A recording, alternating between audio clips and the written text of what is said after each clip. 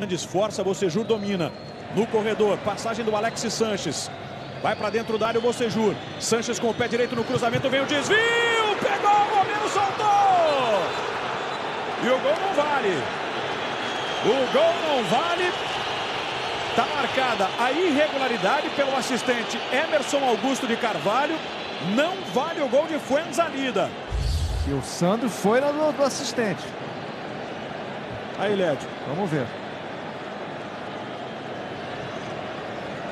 O toque do Arangues e o Fuenzalida aqui, ó. Impedido. Impedido foi Fuenzalida. No momento do toque de cabeça ele já estava à frente. Os dois que estão em campo. Messi, lindo giro. Bola na frente para o Higuaín. Tá de frente para o gol. Ele arrisca de pé direito, bate mal na bola. Se eu não estou enganado, é a primeira tentativa da Argentina, né? Com 12 minutos Finalização de Higuaín. Primeira conclusão. O Chile marca muito bem, né? Duas linhas de quatro, time fechado. Tenta sair para o jogo. Não deixa a Argentina respirar. A marcação dobra o tempo inteiro. A Argentina. E a vacilada agora do Mascherano. Recuperação do Messi. Briga, rouba e faz um lançamento primoroso para o Di Maria. Bravo saiu e defendeu. De...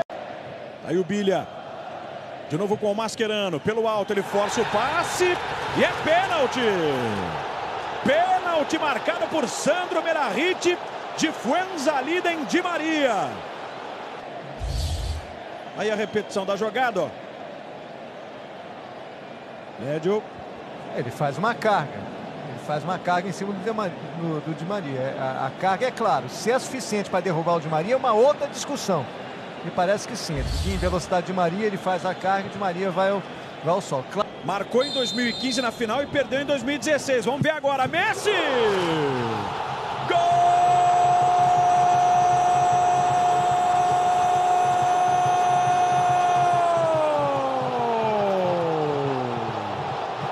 De Messi para Argentina! Enlouquece o torcedor no Monumental de Nunes com o gol de Messi. Bola para um lado, bravo para o outro. 58º gol em 117 partidas pela seleção argentina. Reverenciado pelo torcedor no Monumental de Nunes. Messi, o maior artilheiro da história da Argentina. Bate para colocar o time à frente. Bate para tirar um peso das costas da seleção. Gol que dá muito ânimo, dá fôlego para a Argentina que escapa lá com Messi, Messi para Agüero, para o gol na rede pelo lado de fora. E certamente, Lédio, a Argentina vai se valer dessa empolgação, né? Dessa vantagem para exatamente partir para cima, né? Para tentar logo aumentar essa vantagem.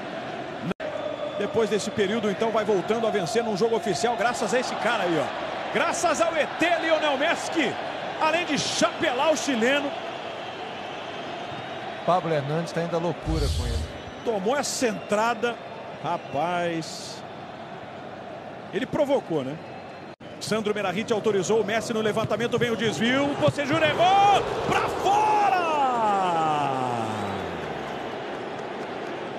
Inacreditável o gol que errou o Otamendi.